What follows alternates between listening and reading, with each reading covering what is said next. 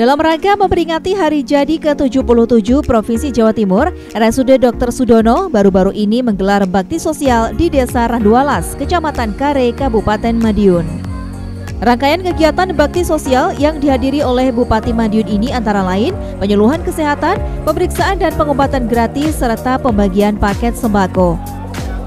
Bupati Madiun Ahmad Dawami mengatakan hadirnya rumah sakit rujukan regional milik Provinsi Jawa Timur di wilayah Pawitan Dirogo merupakan wujud kepedulian pemerintah Provinsi Jawa Timur melalui RSUD Dr. Sudono untuk membantu Pemkap Madiun menyelesaikan persoalan kesehatan masyarakat.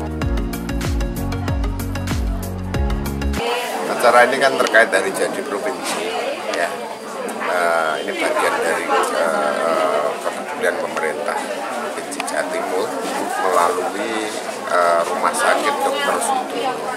Jadi uh, membantu pemerintah Kabupaten Madiun, warga-warganya uh, terkait bidang kesehatan. Itu ya, ini ada edukasinya, ada pengobatannya, dan lain konsultasinya juga juga ada. Yang terpenting semangatnya, uh, bagaimana uh, menghadapi tipnya, menghadapi musim hujan dan ini waktu ini tepat sekali. Wakil Direktur Pelayanan Medik dan Keperawatan Dr. Dwi Siwi Mardiati mengatakan, kegiatan Baksos merupakan kegiatan tahunan yang rutin dilakukan setiap peringatan Hari Jadi Provinsi Jawa Timur. Dijelaskannya, RSUD Dr. Sudono merupakan bagian dari pemerintah Provinsi Jawa Timur yang mempunyai tanggung jawab dalam berperan mensukseskan visi misi Gubernur Jawa Timur terkait dengan upaya peningkatan derajat kesehatan masyarakat di Madiun dan sekitarnya. Acara bakti sosial ini sebetulnya merupakan acara rutin tahunan dari RSUD Sudono.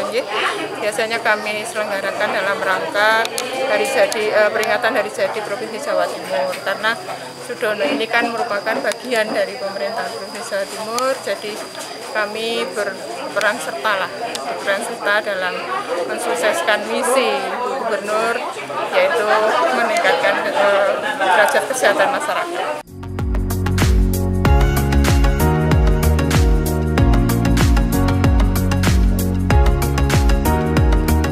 Dr. Sibi menambahkan selama ini pihaknya telah berupaya memberikan pelayanan yang terbaik, terbuka dengan kritik dan saran demi mewujudkan pelayanan prima yang lebih baik ke depannya.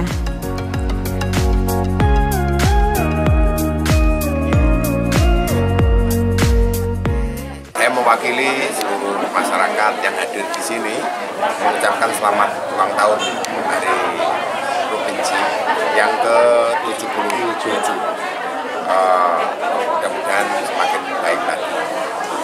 Optimis jadi target yang penting. Salam optimis. Tim Liputan JTV Madiun.